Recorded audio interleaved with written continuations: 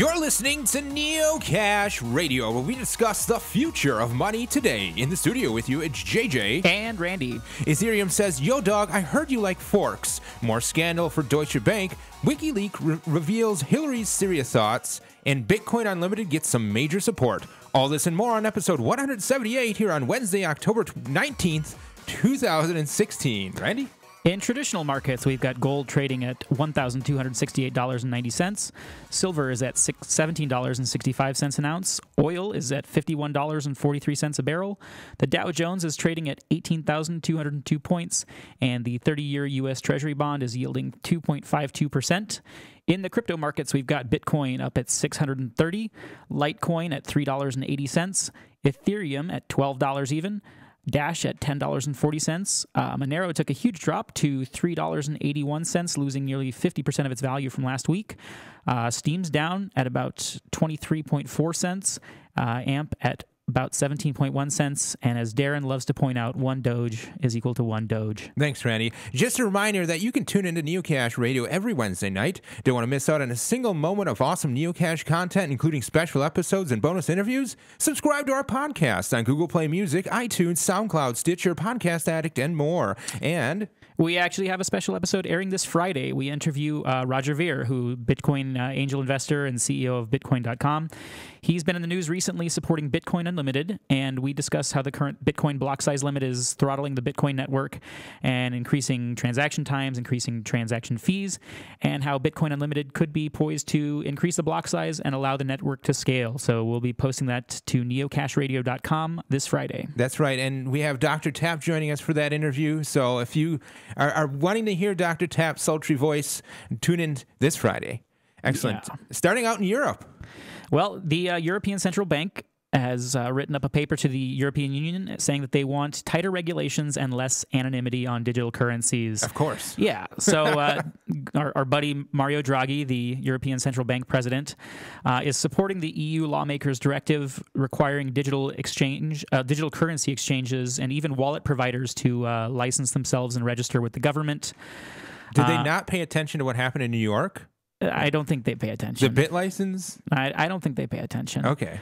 Um, but they then they keep calling them virtual currencies, but um, they they do the usual fear mongering, saying that these could uh, finance illegal activities, which cash is also great for, and is still the number one. the U.S. dollar is still the number one uh, currency of choice. Yeah, criminal for, currency of choice. Yeah, but um, the ECB is saying that national financial intelligence units should be able to associate virtual currency addresses to the identity of the owner of virtual currencies. So they really want to have uh, know your customer on everything, and they want to be able to point to who owns what. Um, through all of this, though, the ECB wanted to remain adamant that Bitcoin. Uh, this is our favorite game, JJ. Yeah, is Bitcoin money? Yes. Um, dun, dun, dun, well, according to the ECB, Virtual currencies do not qualify as currencies from a union perspective, and they would go on to assert that the euro is the only is the single currency of the union of the union's economic and monetary union. Um, he, Draghi even goes so far as to recommend defining virtual currencies more specifically in a manner that explicitly clarifies that virtual currencies are not legal currencies or money. Uh, they would rather see it categorized as a means of exchange rather than as a means of payment. Mm, makes um, sense. I mean, it is a means of exchange, and if you don't want to treat it like you would treat fiat, that's fine. Well, and this this is when it becomes really fascinating to me. So, uh, even though he made note that uh, digital currencies and blockchains quote may have the potential to increase the efficiency, reach, and choice of payment and transfer methods, uh, he was quick to direct members to quote take care not to appear to promote the use of privately established digital currencies as such alternative means of payment are neither legally established as currencies nor do they constitute legal tender issued by central banks and other public authorities. So, uh, even though they think it might be better, they want to be sure that no member states are promoting private currencies in, in any fashion. Um, the the two problems they're pointing to are saying that unlike the holders of legally established currencies, the holders of virtual currency units typically have no guarantee that they will be able to exchange their units for goods or services or legal currency in the future. So I think there's some folks in Venezuela and Greece, and uh, I mean, even here in the United States, we've got the Federal Reserve devaluing the U.S. dollar by 95% since its inception in 1913. So I, these guarantees they talk about are, are funny, in my opinion. Um, they also say that the reliance of economic actors on virtual currency units, if substantially increased in the future, could in principle affect the central bank's control over the supply of money with potential risk to price stability. Thus, while it is appropriate for the union legislative bodies to regulate virtual currencies from the anti money laundering and counter terrorist financing perspectives, they should not seek in this particular context to promote a wider use of virtual currencies. So they're going so far as to say these things might be very powerful and they might be very good, but it will make us lose control and we can't promote them. Right. Well, in, in the subject of control, I guess, we have an update on Deutsche Bank. A Bloomberg article is spreading rumors that Deutsche Bank might be cutting back on U.S. operations as a cost trimming measure. The New York Times is reporting on a company wide hiring freeze. This past Monday, Deutsche Bank agreed to paying $38 million to settle allegations that it illegally conspired with other banks to fix the price of silver. This is one in the first of a wave of lawsuits against banks with conspiracy allegations of price rigging and rate fixing in financial and commodities markets. The bad news doesn't stop there. 13 bankers were charged with market manipulation and creating false accounts at the world's oldest bank in Italy, Banca Monte dei Paschi di Siena. Besides Monte Pesce, former executives at Nomura Holdings Incorporated and six current and former Deutsche Bank AG executives were named in the scandal. An investigation found that the executives created false accounts to hide losses. Montepaschi used derivatives struck with Deutsche Bank to hide losses from an earlier derivative contract. Deutsche Bank's share price has fallen 50% this year, while the world's oldest bank, Banca Monte dei Paschi di Siena, has seen share prices fall 84%.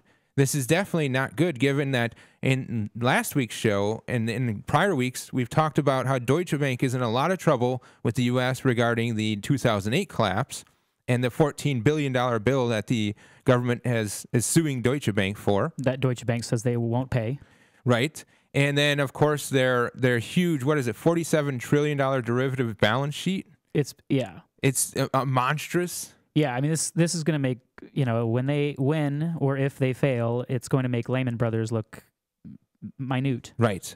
So this these all these scandals are coming out, but what I think is is is definitely something to pay attention to is the the amount of settlements that now occur for banks that are being sued on the, the grounds that they're fixing the price of silver and other commodities because this has been something that the silver bugs have been advocating and talking about for a long time. And they've been arguing that the there's market manipulations going on and now they actually are justified. Now they're starting to see mm, the fruits of that protest.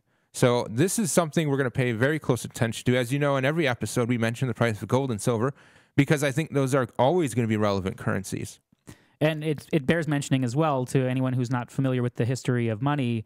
Uh, when when gold was first uh, taken from U.S. citizens, when U.S. citizens were required to turn in their gold to the U.S. government, the government bought it at twenty dollars an ounce and sharply raised the price to thirty-five dollars an ounce as soon as they controlled all of it and held it that way for a very long time artificially. So this is not something that's above uh, you know banks and, and governments to try to do. Um, certainly, we see it with food subsidies and all kinds of other other things uh, all the time. But market manipulation repeats itself over and over again, and it continues to not work.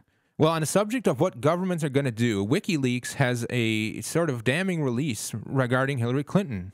Yeah, so all this week, if you've somehow missed the WikiLeaks news, uh, you you might blame uh, Facebook. They've been accused of throttling uh, WikiLeaks releases and things like that. Uh, all the more reason to diversify where you get your news from. And thank you for supporting independent news sources like Neocash Radio. Neocashradio.com.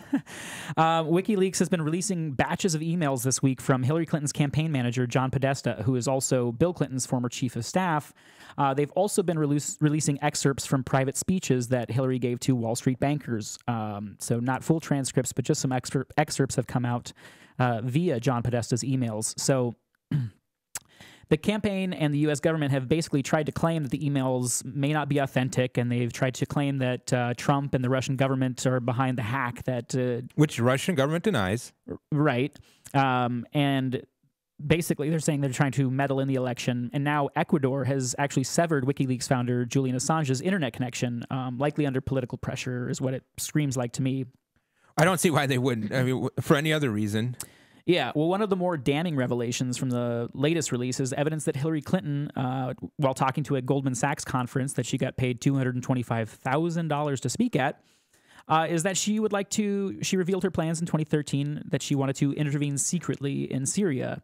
And JJ, you talked at length. Uh, was it last week or That's right. last week? Uh, you talked at length about the sort of U.S. Russia proxy war that's going on in Syria. Well, here's more evidence of it. Um, Quote from Hillary Clinton My view was you intervene as covertly as is possible for Americans to intervene. We used to be much better at this than we are now. Now, you know, everyone can't help themselves. They have to go out and tell their friendly reporters and somebody else, look what we're doing, and I want credit for it. Um, and w- another thing she said, uh, if everybody's watching, you know, all of the backroom discussions and the deals, you know, then people get a little nervous to say the least. So you need both a public and a private position. Um, Wow. so That's yeah, this this is exactly why so many people outside the United States don't want her to be president. yeah, it's Wizard of Oz. It's pay no attention to the man or, or woman behind the curtain. Well, and and yes, and the thing you know, we don't get into the Trump Hillary thing because I think that's a big distraction from the important things going on. Yes, Yes. who gets elected is important on a on a certain level, but it's not as important as as the Deutsche Bank thing going on that could crush economies worldwide. It's not as important as these new technologies that could free people worldwide. But this is definitely something to pay attention to. Now, uh, what there's also other uh, revelations uh, revelations from WikiLeaks or, or what's Yeah. this this next thing? Well, and back to what you were saying about Deutsche Bank with the collapse there, what you need to understand, uh, what people need to understand is that the last time this happened was in 2008, and who took the biggest hit? It was taxpayers, and so that's why we're really focusing on things like this versus the outcome of this, you know, this this sham of a circus they call an election. That's terrible. Yeah. That's that's my my opinion is it's terrible. There you go. Well, uh, also with- with WikiLeaks, um, they it, not sure if this was related to the internet being cut or not, but or the allegations that they're meddling with elections. Um, WikiLeaks tweeted out three pre-commitment keys. Now, this was not something I'd heard of before, but it's basically it's a cryptographic scheme uh, to prevent unreleased information from being tampered with. So they tweeted out three different things. One said Ecuador, one said John Kerry, and the other said UK FCO, which is their their foreign office. Uh, basically, behind that was a 64 uh, character key. What this does is it's basically a, a hash. Uh, or some kind of private key that will show when the documents are released. It shows that they have not been tampered with. So I'm guessing this is Right. something that's going to be coming out after the election, basically to say, you know, this is what it. Uh, if any of the text were to be altered from the time they released these keys, the key would also be altered, so it wouldn't match up. So uh, it looks like that's uh, what it was intended for. It, only time will tell. Um, and another thing that was interesting was that CNN has come under fire for incorrectly, very incorrectly stating that it was illegal for viewers to possess information from WikiLeaks. And they were saying that the media was somehow special and that they were allowed to look at these things and that their viewers should get all their information on the WikiLeaks releases from the media, from CNN. Oh and my- that people shouldn't do their own investigative journalism. This is a bafflingly like dystopian. It's what a state controlled media looks like. That's that, that's exactly what it looks like. No, it's illegal. We are in a class above you, and we have privileges you don't have, and special rights. And you shouldn't try. And just the fact that you're looking for news outside of us means you're you should go to jail. That's ridiculous. Absolutely ridiculous. Well, the, the ridiculous news doesn't stop there.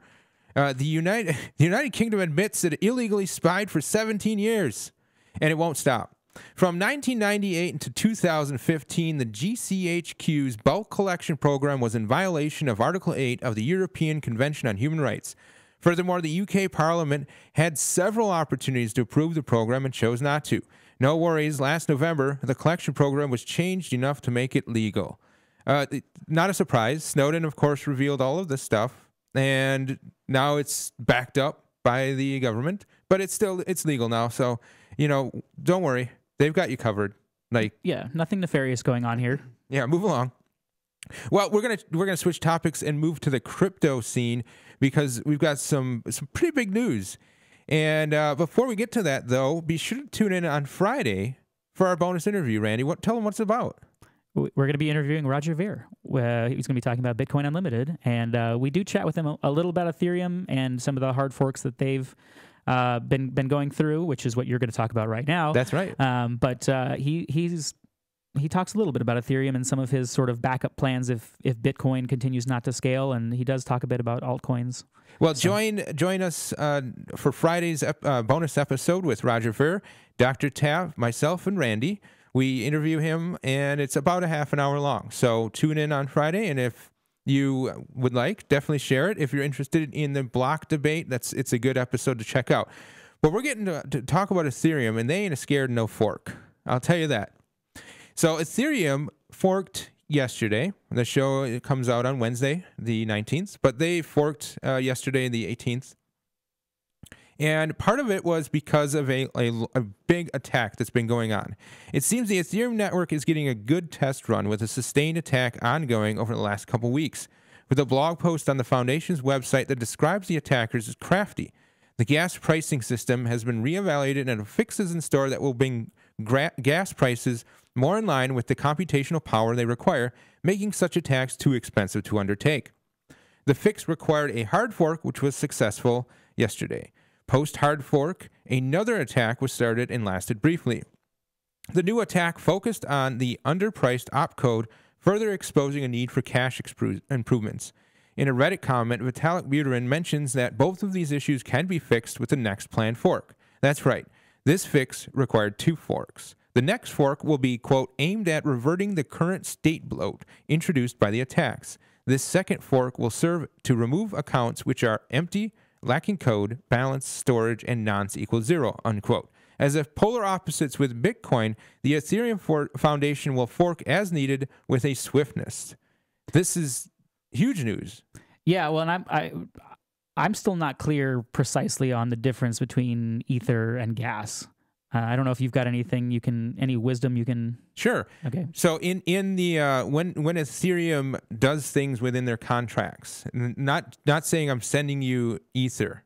Okay? Okay. So like outside of sending someone ether, within the contracts, each operation that you want the contract to do has a certain gas. Uh, it is a certain type of of execution or a certain type of function, and each of these functions has a certain amount of cost attributed to them in gas. And this is something you load the contract with when you execute it, or in some cases, your contract can be reloaded with gas.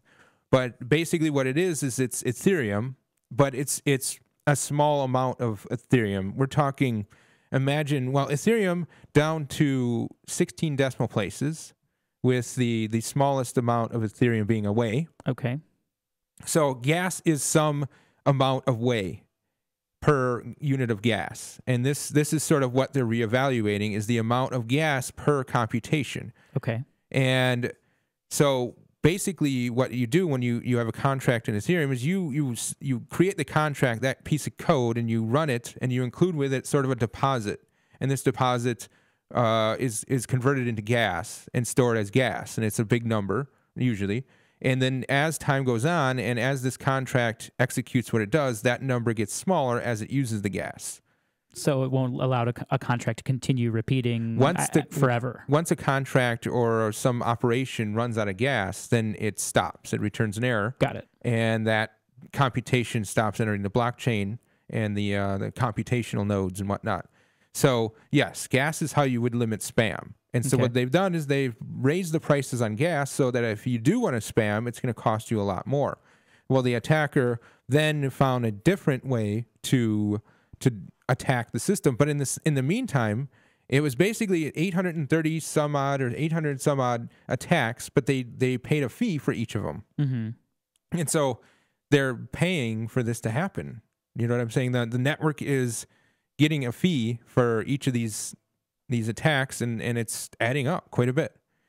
So getting to talk about Bitcoin Unlimited once again, the ViaBTC founder and CEO Haipo Haipo Yang uh, calls for larger blocks. In a Medium.com article and, and his personal blog, ViaBTC founder and CEO Haipo Yang throws his support behind Bitcoin Unlimited. Quote, very simply put, if the block size is not increased, then Bitcoin's growth will have halted at the level of adoption it is today, and Bitcoin may as well be considered a failed experiment, unquote. It's a very strong statement. Uh, Yang levels criticism at segregated witness, saying, "quote The introduction of segregated witness brings with it an enormous amount of technical debt." Which would require fundamentally altering the structure of Bitcoin transactions and requiring all nodes, mining pools, block explorers, wallets, Bitcoin ATMs, exchanges, and other applications to do a complete refactoring of their software. The massive externalized costs from implementing segregated witness far outweigh the cost of performing a hard fork, and all of this for a mere 0.7 megabyte effective increase in block size, unquote. Yes, this is something we haven't really talked much about, Randy, is that once all of this this blocks once the blocks change, then a lot of these external uh, auxiliary functions that use Bitcoin will also have to be changed. Mm-hmm. And so all of those people will have to put additional time and energy into their product or service that they have already finished and completed. So like that's definitely a big cost that isn't really talked about a lot. Um, but um, is this software upgrades, hardware upgrades, or it's de- it's usually a software thing, something they have to program it in a different way. So because I know, like in the tr- in a traditional sense, like uh, I've I've heard frustrations from merchants who deal with credit card uh, registers. You know that they've changed so much in the past decades that you know first it was the swipe machines, and then uh, you know the ones where you actually physically swipe the thing on the carbon paper. Then the then the swipe. Now they've got the chip and it's just uh, i guess protocols are updating very often and it's causing businesses to have to throw away perfectly good hardware they've just bought so that, that's why i ask right that's a good point according to blockchain.info ViaBTC has around 10.7 of the network hashing power as of today 10.7%? 10.7% of the network hashing power. Combined with Bitcoin.com pool, the total hashing power stands at around 12.9% of the overall network. In a CryptoCoin news article, Yang mentions that Bitmain CEO Jihan Wu, quote, has always been in favor of increasing the block size, but as the CEO of Bitmain, the largest manufacturer of Bitcoin mining hardware, as well as a miner and pool operator, he's worried about creating a divide in the Bitcoin. He's so he's always hoped that Bitcoin Core would implement a block size increase. Having been let down by Bitcoin Core several times now, he supports the switch to Bitcoin Unlimited. He personally thinks that a switch to Bitcoin Unlimited and a hard fork block size increase is the best way forward, unquote. Now, Bitcoin Technologies Limited, Bit, uh, Bitmain, Bitmain Technologies Limited, manufactures ASIC hardware known as Antminers. The company also runs the largest Bitcoin mining pool, Antpool, and smaller mining pool, BTC.com. The hashing power of the two comes in around 21.8% of the network. Combine the two pools we mentioned and Bitcoin Unlimited support would come in at around 34.7% or more than 600 600 million gigahashes which per, per I, second. Yes, per second, which if Darren were here, he would tell us what that is um, Darren, we need you with your golden locks and your math skills. That's right, Darren. Tune, tune in Friday to hear to hear us talk about uh, this with Roger Ver. Yeah. Uh, I want to just point out in something I also mentioned, and that one is that on June June of 2015, Neocash Radar reported that the a, a consortium of Chinese, the five largest Chinese mining pools, met and agreed that the block size needed to be raised and that eight megabytes was a good number. So just put that in perspective. Bitcoin Unlimited is talking about two megabytes. The Chinese mining pools have already met and said eight megabytes would work. So that's uh, sort of what what is what else is in play. Of course, that was over a year ago. Well, and Bitcoin Unlimited is going to be opening it up to miners to decide, you know, what what size blocks they want to mine, and so it'll be responsive and and allow Bitcoin to scale. So yeah, these incremental increases they're talking about the 0.7 megabyte addition for uh, segregated witness and things like that. It's it's growth. It's not scale. You need options that can scale. Right. And that's what's you know I'm I, I'm I haven't seen it in action, but it seems uh, that's what's exciting me about Bitcoin Unlimited's potential. Well, and, and the fact that there there is very little talk of on-chain scaling, and all the talk is focused on off-chain. You know, that's it's sort of like let's let's take this simple thing and complicate it and make it more difficult to understand and to use but for us, you know, well, it's good for us because we're making this and we're going to get some sort of cut, you know, some sort of, I just want to taste. So, Um, what else is going on with Bitcoin Unlimited? Well, it's one, yeah, one more mention of them. Um, basically, there was an announcement recently made that Bitcoin Unlimited would be uh, making several hundred thousand dollars available to developers who could, uh, quote, advance Bitcoin as a global peer to peer electronic cash system. Um, so they are looking at ways developers can uh, help Bitcoin grow. They recognize that it requires uh, ongoing scaling research, empirical studies, bottleneck removal, quality control, and community outreach. So they're they're actively supporting uh, ideas for getting Bitcoin out into the world. And uh, we'll of course have a link on neocashradio.com where you can uh, submit a proposal if you are so interested. Uh, one other thing I'd like to bring up uh, this week, I actually watched a really interesting documentary um, called 13th. It's on Netflix, and it's uh, about the 13th Amendment to the U.S. Constitution, which, of course, uh, abolished slavery, um, so it reads. But there's a loophole, which is that uh, no one can be used for slave labor except if they've been ac- accused, or excuse me, except if they've been charged of a, uh, with a crime. So it focuses on the definition of the word criminal and really shows how the government has created this class of people, uh, largely still people of color, but they've created these criminals that oftentimes are in jail for uh, minimum sentences um, and people who've just been stolen out of their homes and, and out of their communities. Um, and often put there, you know, for very, very long time at taxpayer expense um, and how a lot of them are actively being used to make goods uh, that are being sold in many, many stores. And so it looks a lot at the fact that we very much have slave labor alive and well here in the United States, um, and that it's it's a growing problem. We have five percent of the world's population and twenty five percent of the world's incarcerated population. And it really gets you to sort of take a look at what it means to be in what's called the land of the free um, and when they point out really, really scary statistics, the the average white male in the United States has a one in 17 chance of being incarcerated at some point in their life, and the average black male has an uh, average of one in three chance of being incarcerated at some point in their life.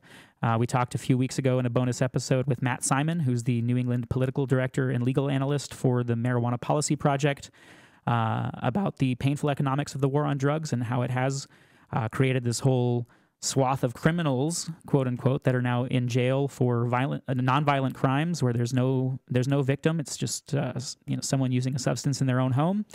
And um, unfortunately, it's enforcement for these things and incarceration cost a heck of a lot of money for taxpayers. And uh, certainly, this this documentary again, it's called Thirteenth. It's uh, available on Netflix, which is which I actually take a little bit of an issue with.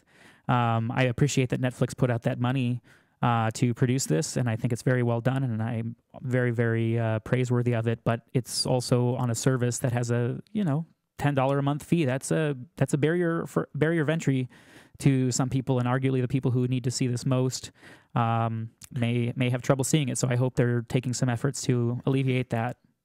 Well, there's an interesting article from this week that came out this week. In fact, it came out yesterday and it goes. Uh, it's it, the title of it is "Why No One Knows About the Largest Prison Strike in U.S. History," and it's talking about how there are 29 prisons in 12 states that are going that have prisoners going on strike, across prison-wide strikes for for this labor you're talking about. The uh, the article talks about how the prison labor economy brings in around two billion dollars annually and employs 900,000 people or more. And some of the companies benefiting from this labor include IBM, Boeing, Microsoft, AT&T, and Macy's.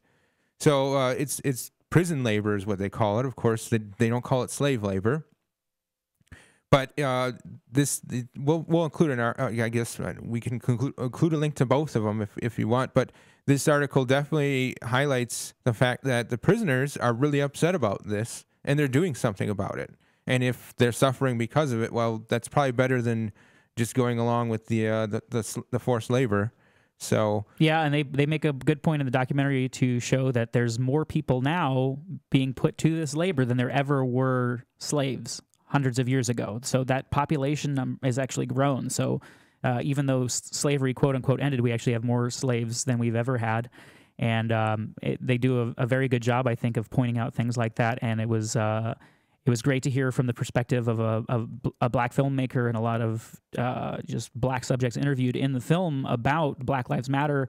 Um, you know, and it is it's it is something that affects everyone. So even even being not black myself, um, you know, it, you get to see how awful these things are, are for everybody, but especially how people of color have have been forced uh, to live with this their whole lives. And and some of the more interesting points I think are uh, how they've uh, said a lot of this sort of scare tactics of of you know creating this this class of criminals within uh, communities of color has gotten plenty of people to fight you know not just black and white but also black on black people fighting thinking you know and, and people thinking themselves are actually you know evil. Am i a criminal just because i'm black? They said that the that the propaganda was so strong from the media and from you know politicians that people actually began to you know some people began to have these awful ideas about themselves just by media manipulation and, and these awful um, you know, terms like super predators and things like that that were thrown around by Hillary Clinton back in the early 90s, and the awful crime bill of Bill, the awful crime bill from Bill Clinton in 1994. Very, very much recommend checking out this documentary. 13th. Excellent. Yes, we'll definitely have a link to that on the website. Uh, the perverse incentive system, the, pers- the perverse economies that come from having a 12 to 40 cents per hour slave labor is is just profound. So it's definitely a, a huge thing, and uh, you know, having such a large percentage of the people that aren't white basically doing this work is is baffling considering that that is isn't really you know justifiable with the amount of population that isn't white. So right. we'll definitely have information about this on our website at neocashradio.com as always you can visit our website and learn more about what's going on with all our our recent stuff. But we also have once again a plug for the friday uh, interview with roger ver Yep, you can tune in to us, of course, every Wednesday night and subscribe to our podcast on all the platforms that are out there. Uh, our special episode this Friday is with Bitcoin Jesus himself, Roger Ver. Uh, check out neocashradio.com for the links and be sure to be on the lookout for Friday's show. And if you're on Twitter, make sure you retweet all the things at Neocash Radio. That's right. This is JJ and Randy for Neocash Radio, where we discuss the future of money today.